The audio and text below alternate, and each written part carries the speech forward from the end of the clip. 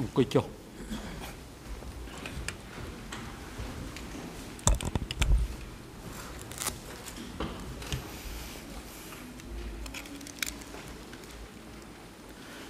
អង្គ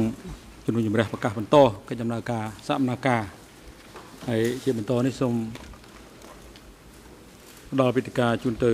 ក្រមមេធាវីការពីក្តីលោកខៀវសំផនដើម្បីបន្តការបង្ហាញនៅ ការបន្ទាស់របស់ខ្លួនចំពោះឯកសារចំនួន95ដែលយើងបានកំណត់ក្នុងការកិច្ចពិភាក្សាការពីព្រឹកមិញសូមអញ្ជើញលោកមេធាវីបាទសូមអរគុណលោកប្រធានសូមគោរពសាជាថ្មីចំពោះក្រុមប្រឹក្សាជំនុំជម្រះនិងអង្គសវនាការទាំងមូលខ្ញុំបាទសូមធ្វើការចំទាស់ តទៀតតទៅនឹងឯកសារចំនួន95មុនពេលសម្រាប់ពីព្រឹកមិញខ្ញុំបានលើកដល់ឯកសារសារទូលេខមួយចំនួន ដែលមូលដ្ឋាននៃការចំទាស់នោះគឺថាវាមិនមែនជាសារទូលេខតែជាឯកសារគណនីនិង ខ្សែសង្វាក់នៃការទុកដាក់ឯកសារនោះវាមិនមានលក្ខណៈសមស្របដែលអាចទទួលយកបានហើយនឹងមានចំណាដោយដៃទៅលើឯកសារនោះទៀតផងហើយដែលតម្រូវឲ្យមានការបញ្ជាក់របស់អ្នកដែលធ្វើចំណានោះតទៅទៀត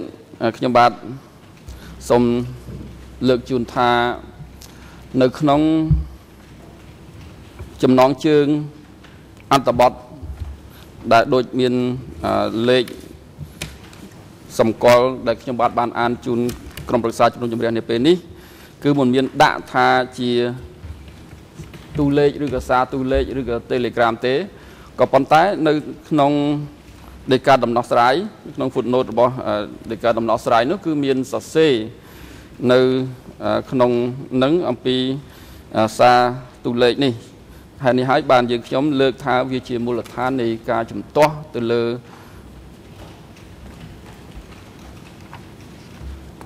ការកំណត់នៃនៃនៃឯកសារនេះមិនបានត្រឹមត្រូវពីព្រោះវាមិនមែនជាសារទូលេខទេវាជាឯកសារផ្សេង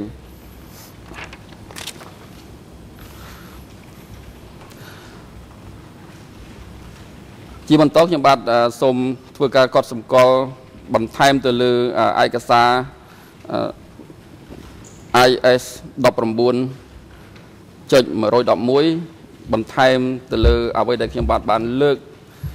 ថាការ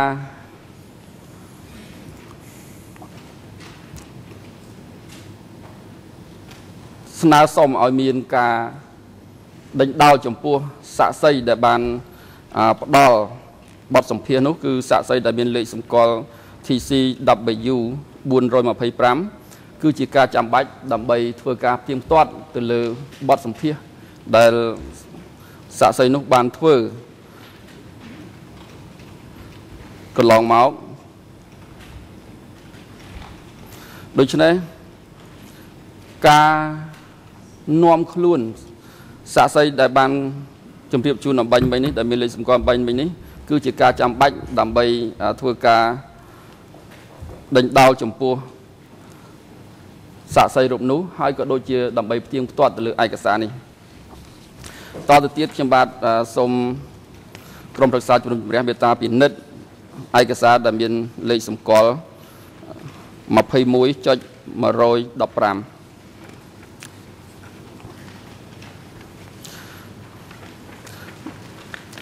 មូលដ្ឋាននៃការជំទាស់ចំពោះឯកសារនេះក៏ដូចគ្នាដែរគឺថាខ្សែសង្វាក់នៃការរក្សាទុកឯកសារនោះពុំមានគ្រប់គ្រាន់ទី2នៅលើឯកសារនោះគឺមានចំណាសរសេរដោយដៃដែលជាចំណោទឲ្យយើង ត្រូវស្វែងរកថាអ្នកណាអ្នកសរសេរសរសេរនៅពេលណាហើយហេតុអីបានសរសេរអញ្ចឹងវាមានចំណត់ជាច្រើនទៀតសំណួរជាច្រើនទៀតដែលយើងត្រូវការសួរបញ្ជាក់ទៅលើអ្នកដែលបានធ្វើចំណានេះឬក៏អ្នកដែលអាចដឹងពីមូលមូលហេតុឬក៏ព័ត៌មាននៃការធ្វើចំណាននេះដូច្នេះចាំបាច់ ត្រូវឲ្យអ្នកដែលដឹងព័ត៌មាននោះឬក៏ជាអ្នកដែលបានធ្វើកំណត់សម្គាល់ទៅលើឯកសារនោះបានមកបង្ហាញខ្លួនចំពោះមុខអង្គសាវនាការដើម្បីឲ្យលោកខៀវសំផនធ្វើការសួរដេញដោលតោះទៀតសូមពិនិត្យឯកសារដែលមានលេខសម្គាល់ 21.123គឺជាប្រភេទ Telegram ណាជាសារទូលេខដូចគ្នាដែរហើយមានសរសេរដោយដៃ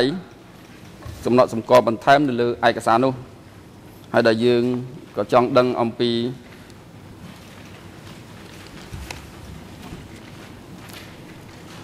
បញ្ហាផ្សេងផ្សេងដែលតាក់ទងទៅនឹងចំណាត់ដែលមាននៅលើឯកសារនោះ ហើយមធ្យោបាយដែលអាចយើងធ្វើបាន គឺមានតែយកនាំបុគ្គលនោះមកចំពោះមុខអង្គសវនាការដើម្បីធ្វើការសួរដេញដោលតទល់គ្នាត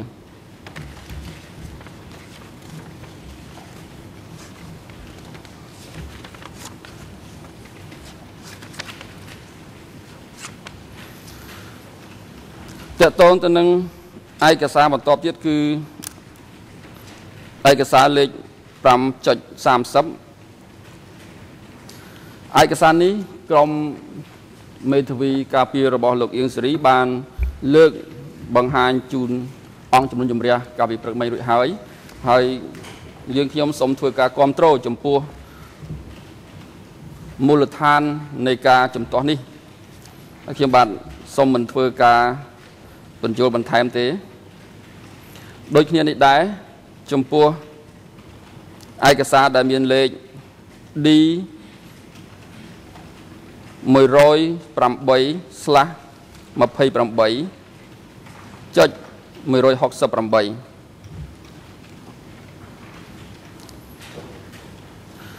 វាជាឯកសារបកប្រែដែល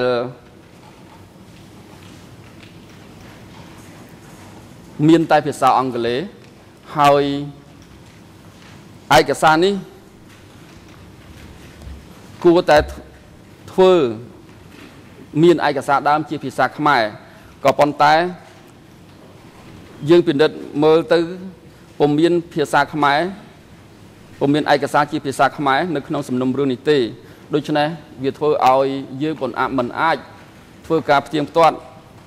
ទៅលើខ្លឹមសារនៃឯកសារនោះបាន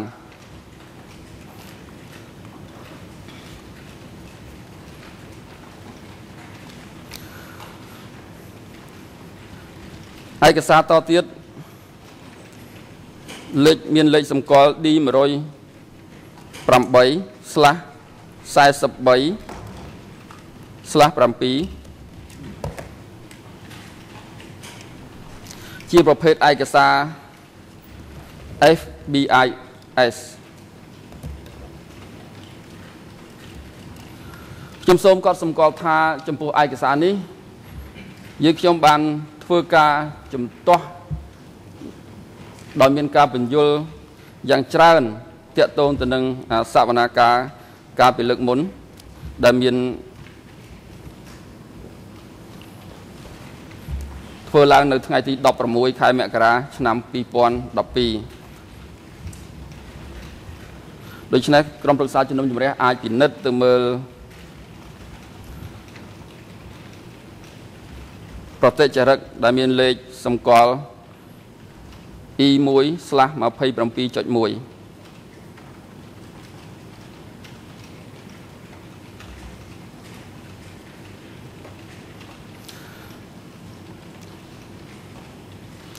ចំពោះឯកសារ D 108/43/9គឺជាប្រភេទ ឯកសារបកប្រែដែរហើយដែល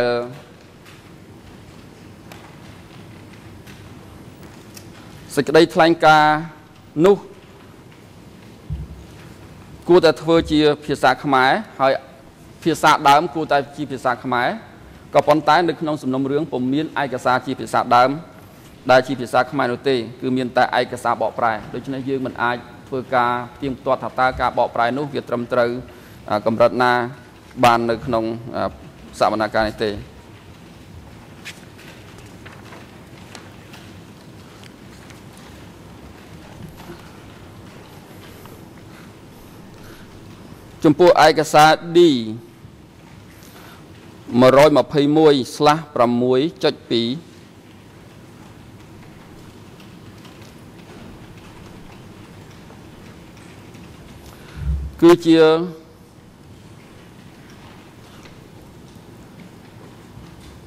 បទអត្ថាធិប្បាយលិលាអសររបស់លោកដុចហើយដែលចាំបាច់យើងត្រូវការគាត់មកបង្ហាញខ្លួនចំពោះមុខអង្គសវនាការនេះ ដើម្បីធ្វើការតទួលដែរពីព្រោះថាស្ថានភាពនៃការផ្ដល់បទអត្ថាធិប្បាយជាលិលាអសររបស់គាត់ កាលពី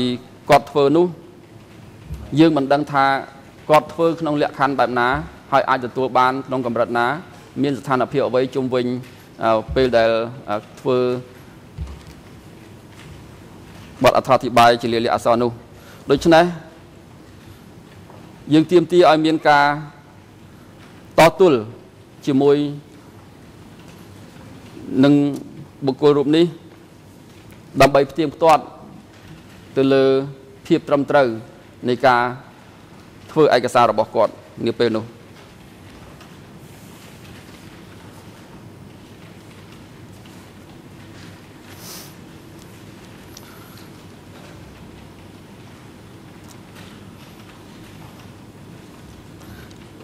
ចំពោះឯកសារ D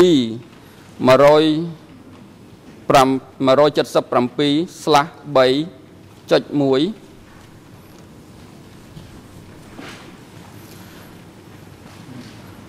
យើងខ្ញុំសូមគ្រប់គ្រងចំពោះមូលដ្ឋានបដិសេធជំទាស់ដែលលើកឡើងដោយមេធាវីការពីលោកអៀងសេរី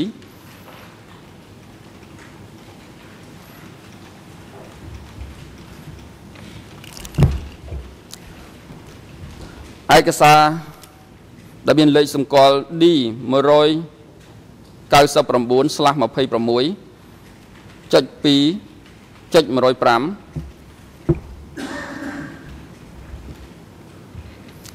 គឺជាប្រភេទឯកសារការទូតហើយដែលយើងមិនអាចធ្វើការផ្ទៀងផ្ទាត់បានទេ ការដែលមិនអាចផ្ទៀងផ្ទាត់បាននេះ ដែលជាមូលដ្ឋាននៃការជំទាស់ទៅលើឯកសារនោះ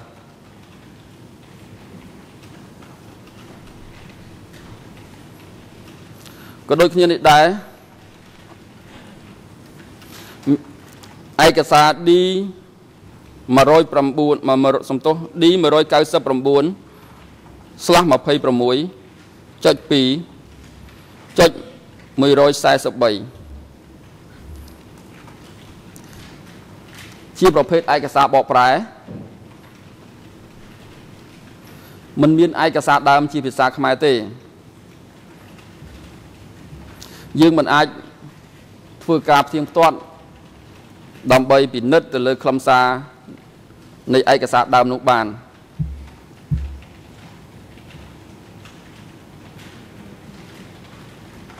ក្នុងនេះក៏មាន មូលដ្ឋានចំទាស់ដូចគ្នាដែរចំពោះឯកសារ D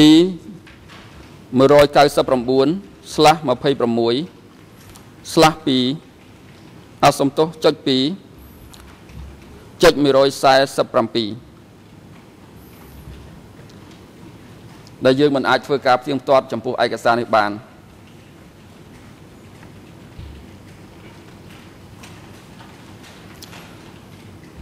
ដល់ឡែកចំពោះឯកសារ D 199 slash 26ចុច2ចុច153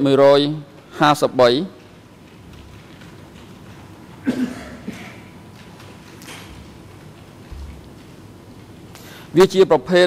ឯកសារ Telegram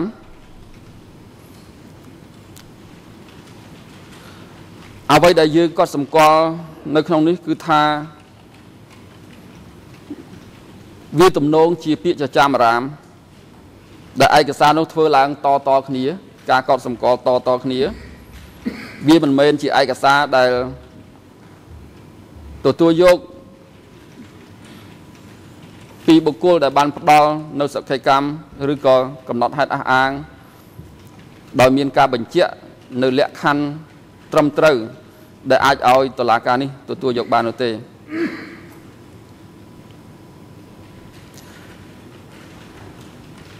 មូលដ្ឋាននៃពាក្យចាំអារាមនេះវាធ្វើឲ្យយើងមានការលំបាកក្នុងការផ្ទៀងផ្ទាត់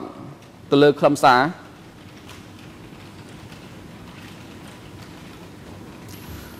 ហើយដែល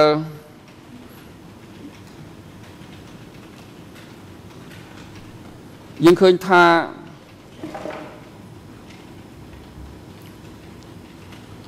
ក្នុងការបង្ហាញខ្លួនចំពោះមុខសវនាការកន្លងមកនេះលោកឌួនជាក៏គាត់បានលើកអំពីការសុំឲ្យកោះហៅសាក់សី TCW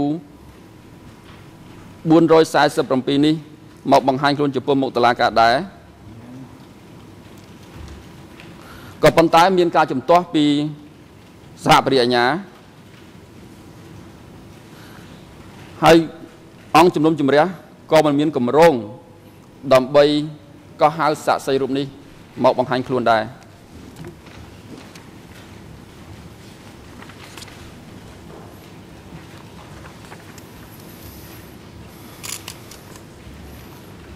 ចំពោះឯកសារ D210/8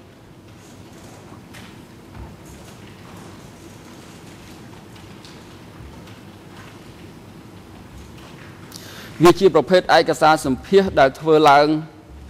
ក្រៅក្របខ័ណ្ឌតុលាការ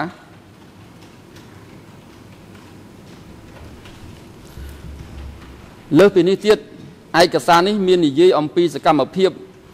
និងអកប្បកិរិយា របស់ជនជាប់ចោតដែលតម្រូវឲ្យយើងត្រូវធ្វើការសួរដេញដោលចំពោះអ្នកដែលបាន ផ្ដល់សក្ខីកម្មដូចដែលបានរៀបរាប់នេះ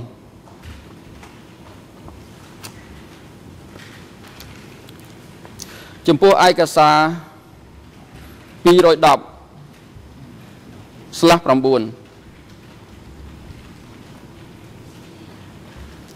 ៏ដូចគ្នានេះដែរគឺជាប្រភេទបទសម្ភាសដែលធ្វើឡើងក្រៅក្របខ័ណ្ឌតុលាការ ហើយបាននិយាយអំពីសកម្មភាព និងអកប្បកិរិយារបស់ជនជាប់ចោតចំណែកឯតុលាការក៏គ្មានកម្រងកោះហៅបុគ្គលនេះដែរដូច្នេះការជំទាស់ចំពោះការដាក់ឯកសារនេះវាជាការចាំបាច់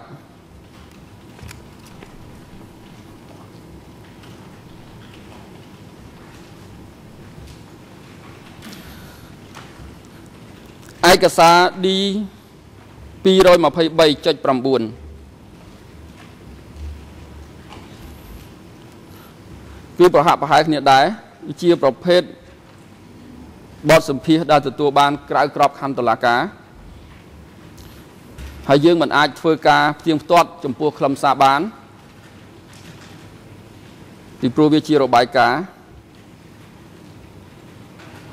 យើងក៏មិនដឹងពី លក្ខខណ្ឌនៃការសម្ភាសនោះដែរ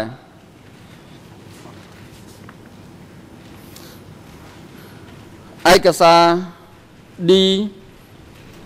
224.1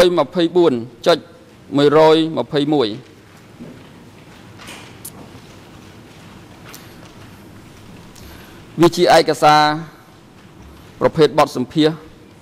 ដែលធ្វើឡើងក្រៅក្របខ័ណ្ឌតុលាការដូចគ្នា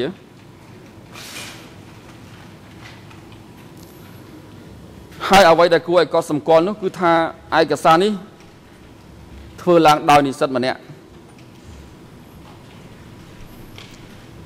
ក្រុមប្រឹក្សាជំនុំជម្រះអាចពិនិត្យមើលឯកសារ D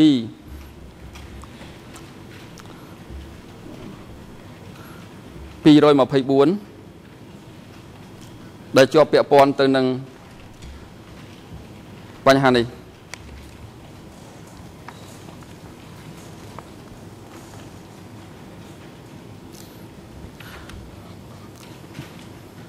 ម្យ៉ាងទៀតការសម្ភាស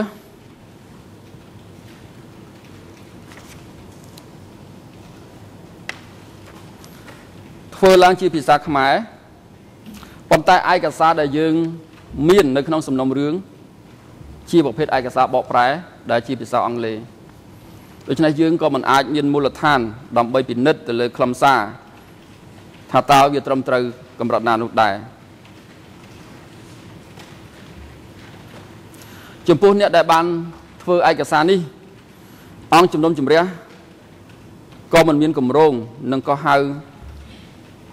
បុគ្គលនោះមកបង្ហាញខ្លួនចំពោះមុខអង្គជំនុំជម្រះនេះដែរ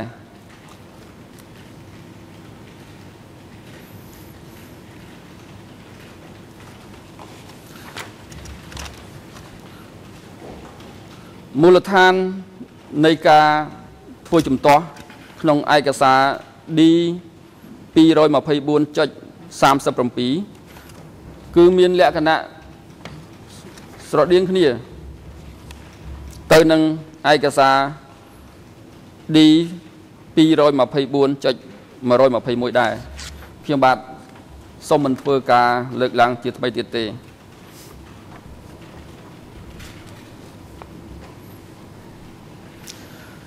ចំពោះឯកសារ D 243/2.1.19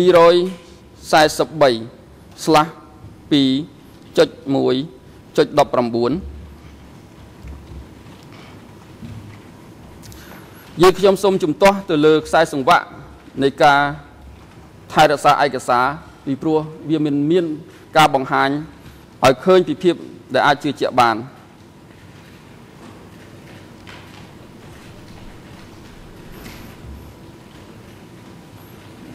ឯកសារនេះជាប្រភេទ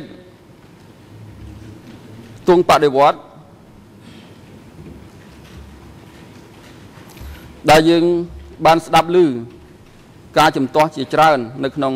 អង្គសាវនាការកន្លងមកកាលពីថ្ងៃទី2ខែកុម្ភៈឆ្នាំ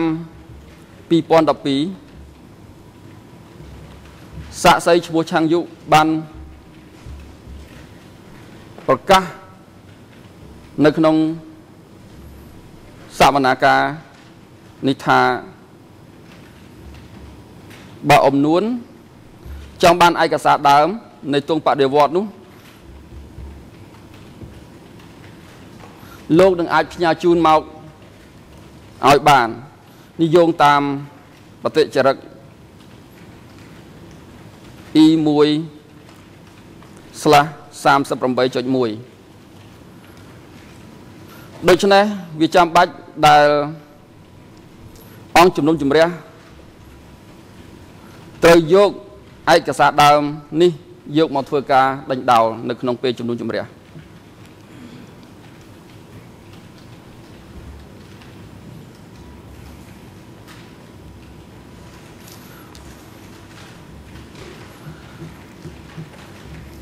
ឯកសារ D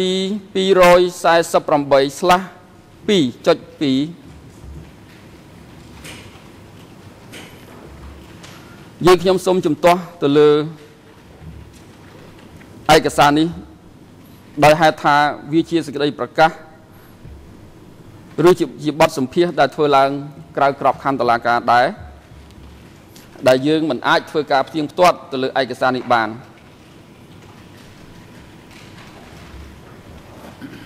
យើងខ្ញុំដឹងថាមានការស្នើសុំឲ្យអ្នក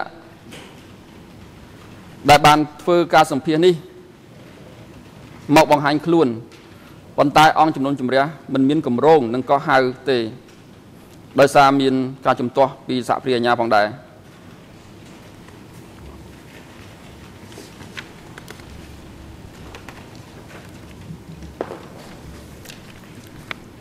ចំពោះឯកសារ D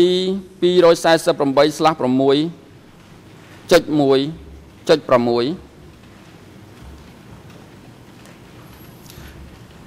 យើងខ្ញុំសូមគាំទ្រចំពោះការលើកឡើងរបស់មេធាវីការពារលោកអៀងសេរីហើយយើងខ្ញុំសូមបន្ថែមថាវាមានបញ្ហាបកប្រែភាសានេះ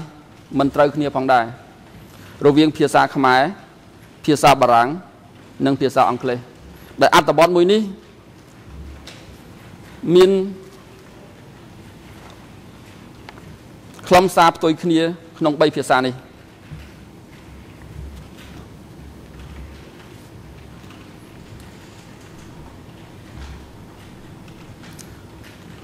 ចំពោះឯកសារ D 262.2 ខ្ញុំបាទសូមគាំទ្រចំពោះការលើកឡើងរបស់មេធាវីការពារលោកអ៊ីងសេរីដែរហើយខ្ញុំបាទសូមមិនធ្វើការអត្ថាធិប្បាយបន្ថែម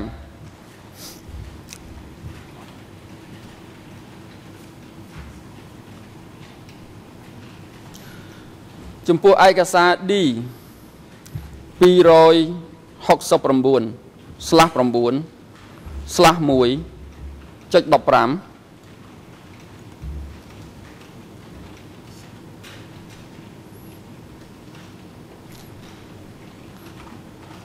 យើងខ្ញុំសូមធ្វើការជំទាស់ដោយសារឯកសារនោះវាជាបទសម្ភាសក្រៅក្របខ័ណ្ឌតឡាការហើយធ្វើឡើងដោយនិស្សិតម្នាក់ដែលមានលេខសម្គាល់នៅក្នុងជាសាក្សីរបស់អង្គជំនុំជម្រះលេខ TCE 38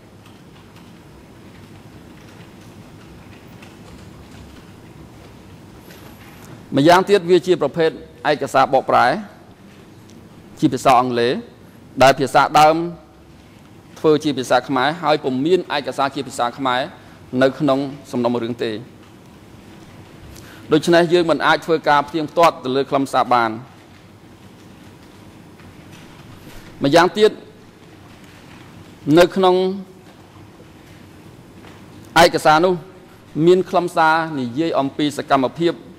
និងអកប្បកិរិយារបស់ជនជាប់ចោតដែលជនជាប់ចោតមានសិទ្ធិស្នើសុំឲ្យជននោះមកបង្ហាញខ្លួន ដើម្បីធ្វើការសួរដេញដោលតទល់គ្នាក៏ប៉ុន្តែអង្គជំនុំជម្រះក៏មិនមានកម្រង នឹងហៅបុគ្គលនោះមកបំភ្លឺចំពោះមុខអង្គសាមនាការនោះដែរ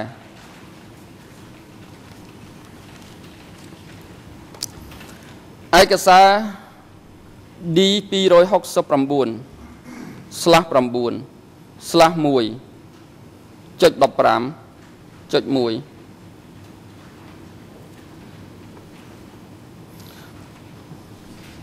គឺដូចគ្នានេះដែរមានមូលដ្ឋាននៃការជំទាស់ដូចគ្នានឹងឯកសារ D 269ស្លាស់9ស្លាស់1ចុច15 ដូចជាខ្ញុំបាទសូមមិនធ្វើការអត្ថាធិប្បាយម្ដងទៀតទេ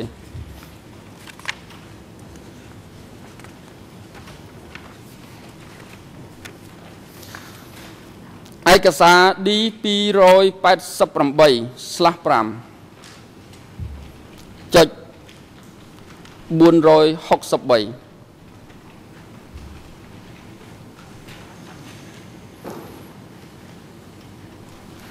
ឯកសារនេះចាំបាច់ត្រូវតែហៅអ្នកដែលបានផ្ដល់សក្ខីកម្មនោះមកចំពោះមុខអង្គជំនុំជម្រះដើម្បី សួរដេញដោលតទល់គ្នា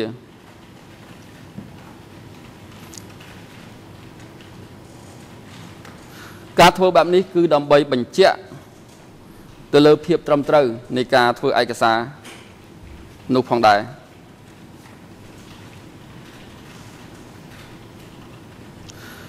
ដូចគ្នានេះដែរមូលដ្ឋាននៃការជំទាស់ដែលតម្រូវជាចាំបាច់ឲ្យអ្នកដែល ធ្វើបទសម្ភាសឬក៏ធ្វើអត្ថាធិប្បាយត្រូវតែឡើងមកបំភ្លឺចំពោះមុខអង្គជំនុំជម្រះដើម្បីឲ្យភាគីអាចសួរដេញដោលចំពោះឯកសារដែលមានលេខសម្គាល់ដូចតទៅ D 288/6ចុច 159/10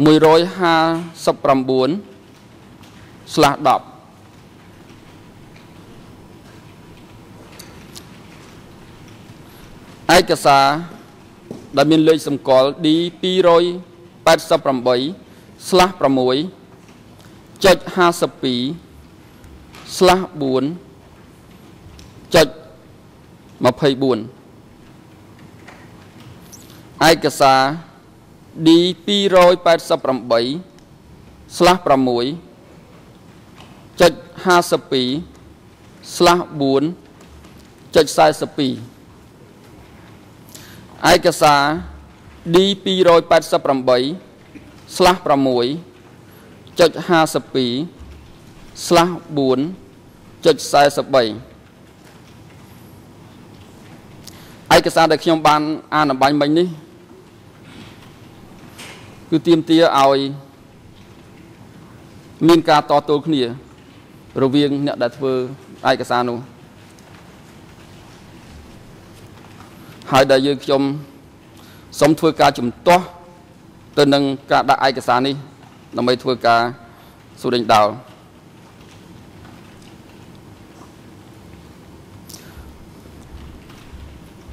ចំពោះឯកសារ D 288 slash 6ចុច5 slash 2ចុច29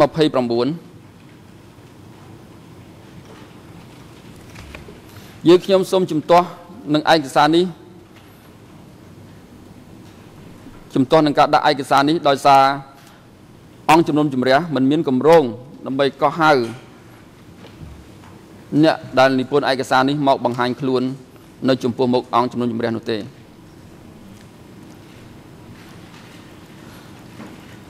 ដោយហេតុថាយើងមិនអាចធ្វើការផ្ទៀងផ្ទាត់ទៅលើភាពត្រឹមត្រូវនៃឯកសារនេះបាន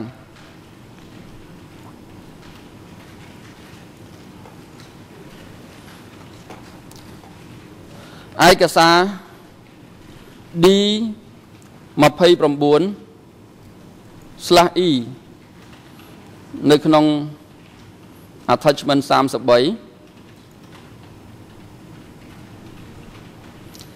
គឺជាប្រភេទឯកសារដែលធ្វើឡើង នៅក្រៅក្របខ័ណ្ឌតុលាការ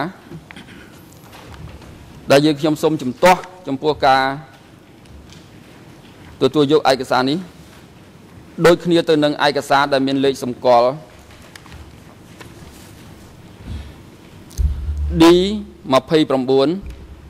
attachment 01 D 369/7.1.562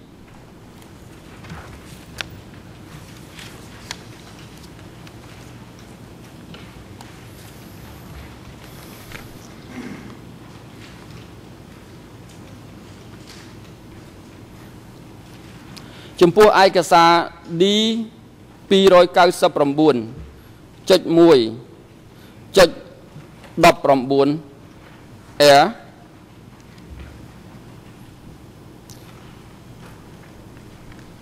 ជាប្រភេទឯកសារ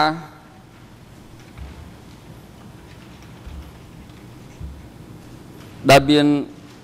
កំណត់នៅក្នុងជើងទំព័រ4100 4188វាជាប្រភេទរូបថតដែលមាននៅក្នុងខ្សែវីដេអូត្រង់នាទី8.55ដូច្នេះការដាក់ឯកសារនេះមិនមែនខ្សែវីដេអូទាំងមូលទេ គឺគ្រាន់តែជារូបភាពមួយ នៅក្នុងខ្សែវីដេអូនោះតែប៉ុណ្ណោះ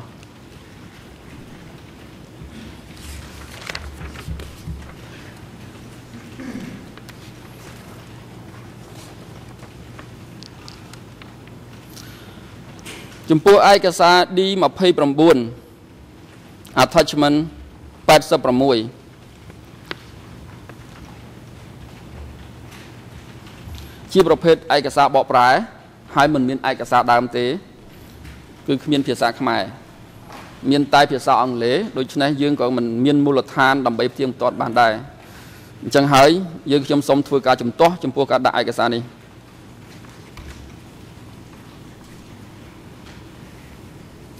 ឯកសារ D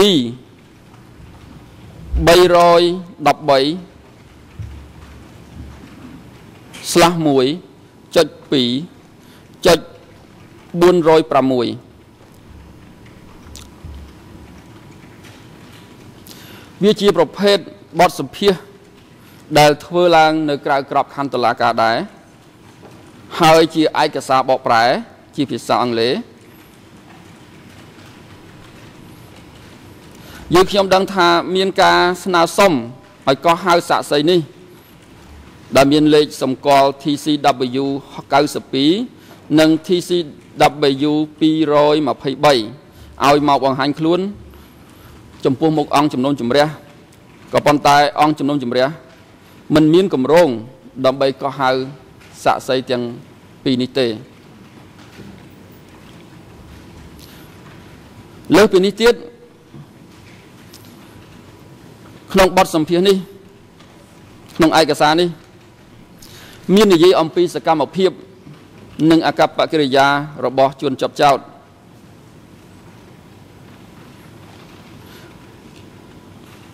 អញ្ចឹងវាទាមទារឲ្យជនជាប់ចោតអាចមានសិទ្ធិសួរដេញដោលតទល់ជាមួយនឹងបុគ្គលទាំងពីរនេះ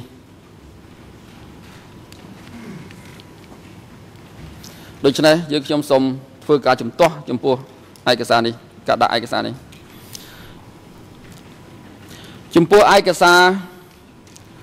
D 359 slash 1 slash 1ចុច1ចុច41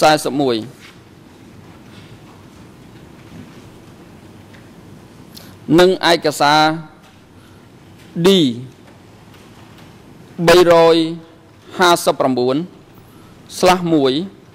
slash 1ចុច1ចុច44វាជាប្រភេទឯកសារបកប្រែ ដែលមិនមានឯកសារដើម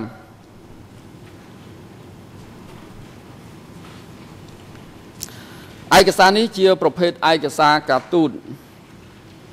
ហើយដែលធ្វើការស្រង់ព័ត៌មាននានាជាភាសាខ្មែរ ក៏ប៉ុន្តែពុំមានអត្ថបទជាភាសាខ្មែរសម្រាប់ឲ្យយើងធ្វើការផ្ទៀងផ្ទាត់ ចំពោះខ្លឹមសារនោះទេយើងខ្ញុំសូមគ្រប់គ្រងនៅការលើកឡើងរបស់ក្រមមេធាវីការពារលោកអៀងសេរីដែរឯកសារនេះមិនត្រូវបានទទួលយកសម្រាប់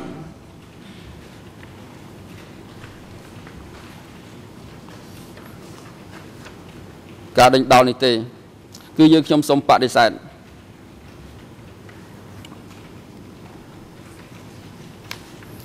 ចំពោះឯកសារ D56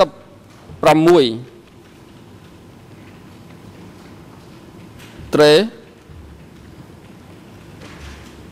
DOC ចុច066 វាជាប្រភេទកម្រងឯកសារប្រទេសស៊ុយអែតឬក៏ Swedish Collection ហើយដែលយើង បានធ្វើការជំទាស់យ៉ាងច្រើននៅពេលបង្ហាញពីយថាភាពនៃឯកសារកាលពីសវនាការលើកមុនរួចហើយដែរ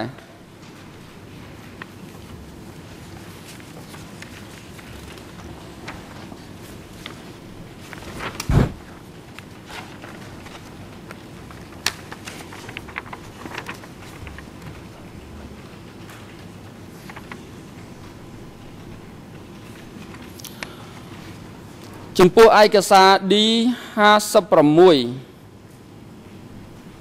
trade DOC ចុច103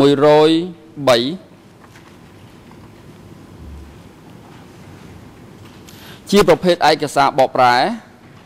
มันមានឯកសារដើមដូចគ្នាដូច្នេះយើងខ្ញុំមិនអាចធ្វើការផ្ទៀងផ្ទាត់ចំពោះឯកសារនេះបានទេ អញ្ចឹងយើងខ្ញុំសូមធ្វើការជំទាស់ចំពោះការដាក់ឯកសារនេះ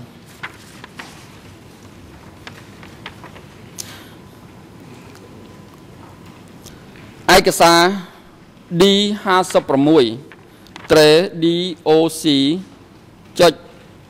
236ដូចគ្នាដែរគឺជាប្រភេទឯកសារបកប្រែដែលមិនមានឯកសារដើមហើយ យើងក៏មិនអាចធ្វើការផ្ទៀងផ្ទាត់ចំពោះខ្លឹមសារនៃឯកសារនោះអញ្ចឹងយើងខ្ញុំសូមធ្វើការជំទាស់ចំពោះការដាក់ឯកសារនេះចុងក្រោយឯកសារដែលមានលេខ D 90/E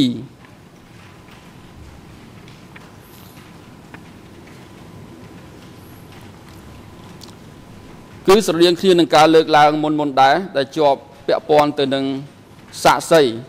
TCW 281គឺក្នុងសំណុំរឿង001ដែលមានគឺឈ្មោះលោកដុចដែលយើងចាំបាច់ត្រូវធ្វើការតទល់ជាមួយនឹងសាក់សីនេះ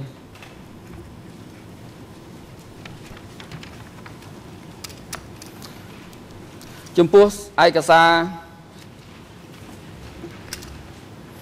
ទាំងអស់ដែលយើងខ្ញុំបានលើកជូនអង្គសវនាការអំបញ្ញមិញនេះ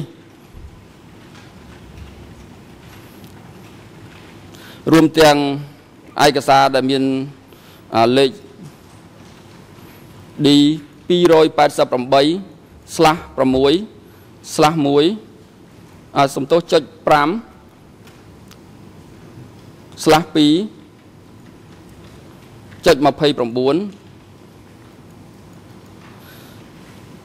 ផងនោះយើងខ្ញុំសូមជំទាស់ចំពោះការដាក់ឯកសារនេះរហូត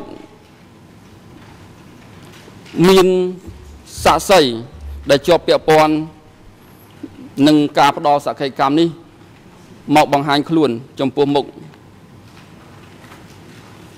សាវនាការដើម្បីឲ្យយើងអាចធ្វើការសួរដេញដោលតទល់ជាមួយនឹងសាក់សីជាពិសេសសាក់សីដែលមានលេខ TCW 281តកតងទៅនឹង ឯកសារចុងក្រោយ ដែលមានលេខ D 90/E សរុបសេចក្តីមកខ្ញុំបាទសូមក្រុមប្រឹក្សាជំនុំជម្រះមេត្តាបដិសេធចំពោះឯកសារដែលមានមូលដ្ឋានដូចដែលខ្ញុំបាទបានលើកជូនអបាយមិញនេះបាទសូមអរគុណអរ គុណលោកមេធាវីដែលបានបង្ហាញចំហយ៉ាងជាក់ច្បាស់នៅក្នុងការជំទាស់ទៅលើឯកសារចំនួន95ដែលអង្គជំរះបានដាក់ដើម្បីពិភាក្សានឹងតវ៉ាជំទាស់នៅក្នុងអំឡុងពេលសកម្មភាពនេះហើយជាកិច្ចបន្តអង្គជំរះសូមផ្ដល់វិធីការជូនទៅតំណាងសហប្រញ្ញា ហើយនឹងក្រមមេធាវីការពារក្តីក្រមមេធាវីមេធាវីនាំមុខតំណាងដើមម្ដងរាប់រាប់វិនីហើយអង្គម្រះក៏ចង់ដឹងដែរមុននឹងប្រកបពិធីការថាតើការបែងចែកពេលវេលាយ៉ាងដូចម្ដេចដែរចំពោះការអឺពាក់ព័ន្ធនឹងបញ្ហាការចំទាស់តវ៉ាទៅនឹងឯកសារទាំងអស់ដែលបានបង្ហាញរួចហើយដោយភាគីក្រមមេធាវីការពារក្តី ដោយអង្គជំនះបានជម្រាបជូនដំណឹងអំពីការបែងចែកពេលវេលា ដែលបានបែងចែកឲ្យប៉ុន្តែដោយសារកិច្ចដំណើរការមានការរអាក់រអួលអញ្ចឹងហើយធ្វើឲ្យពេលវេលាហ្នឹងគឺថាវាកិលទៅមុខ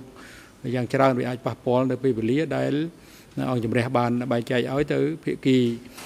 ថាព្រះរាញានិងក្រមមេធាវីនាំមុខតំណាងដើមម្ដងរដ្ឋប្រវេនី ប៉ុន្តែទោះបីយ៉ាងណាក៏ដោយអង្គជំរះចង់ដឹងពីបញ្ហានេះជាមុនដើម្បីការកណនាពេលវេលាសម្រាប់ដំណើរការសម្រាប់រសៀលនេះឬក៏នាពេលខាងមុខទៀតសូមអញ្ជើញ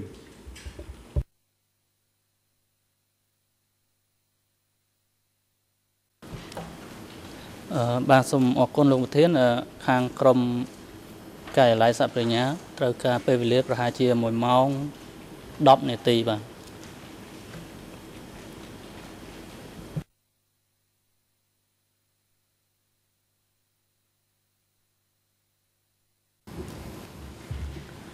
En ce qui nous concerne, Monsieur le Président, 15 à 20 minutes seront amplement suffisantes. ទៅ20នាទីតែប៉ុណ្ណោះវាជាការគ្រប់គ្រាន់ហើយចំពោះយើងអរគុណអញ្ចឹងអង្គជំនះសូមផ្ដល់ពីតិការទៅតំណាងសហប្រញ្ញាដើម្បីមានឱកាសនៅក្នុងការបង្ហាញពាក់ព័ន្ធនឹងឯកសារទាំង95សូមអញ្ជើញ បាទសូមអរគុណលោកប្រធានអឺកាលពីថ្ងៃទី16ខែមករាឆ្នាំ2012នឹងអង្គជំនុំរាជសាលាដំបង បានផ្ដល់ឱកាសដល់ភាគីទាំងអស់ក្នុងការលើកឡើង អំពីការជំទាស់ទៅនឹងឯកសារដែលបានកំណត់ក្នុងជើងទំព័រនៃដីកាដំណោះស្រាយតកតងទៅនឹងប្រវត្តិបកគុំនេះកម្ពុជា ហើយនៅពេលនេះក៏ដូចជាលើកមុនអញ្ចឹងដែរគឺអឺគឺជាការបង្ហាញឯកសារដែលមាននៅក្នុងកំណត់ជើងទំព័រនៃដីកាដំណោះស្រាយតកតងទៅនឹងរចនាសម្ព័ន្ធរដ្ឋបាល និងប្រព័ន្ធទំនាក់ទំនងការងារការបង្ហាញនេះគឺគោរពទៅតាមអនុសារណៈរបស់អង្គជំនុំជម្រះសាលាដំបងចុះថ្ងៃទី9ខែកុម្ភៈឆ្នាំ2012 ពលគឺឯកសារលេខ E 170ហើយនៅក្នុងអនុសារណៈនេះគឺបានលើកឡើងថាឯកសារដែលអង្គជំនុំជម្រះមិនពិចារណាសូមតំណាងសហប្រញ្ញាជាតិផ្អាកនេះសិនដោយសារមានបញ្ហាខាងបច្ចេកទេសប្រតិចរិក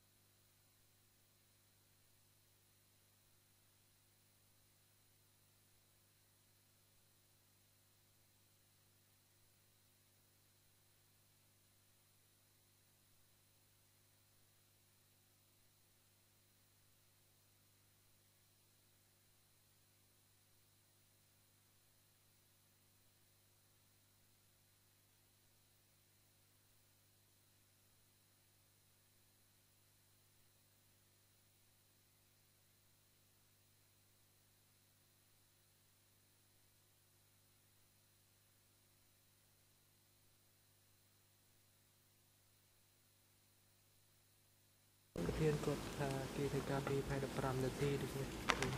អូខេបាទឥឡូវនេះដោយសារមានបញ្ហាបច្ចេកទេសប្រតិចរិតហើយពេលវេលាក៏សមល្មមនឹងសម្រាប់ផងដូច្នេះអង្គជំរះប្រកាសសម្រាប់20នាទីចាប់ពីពេលនេះទៅទៅរហូតដល់ម៉ោង3ខ្វះ15នាទីសូមអញ្ជើញចូលវិញដើម្បីបន្តកិច្ចដំណើរការសកម្មភាពជាការសម្រួលទាំងការសម្រាប់ផងទាំងការ រៀបចំស្ដារឡើងវិញនៅបច្ចេកទេសនៃប្រតិចរិតផងសម្រាប់ចុះសូមអញ្ជើញកោបឈរ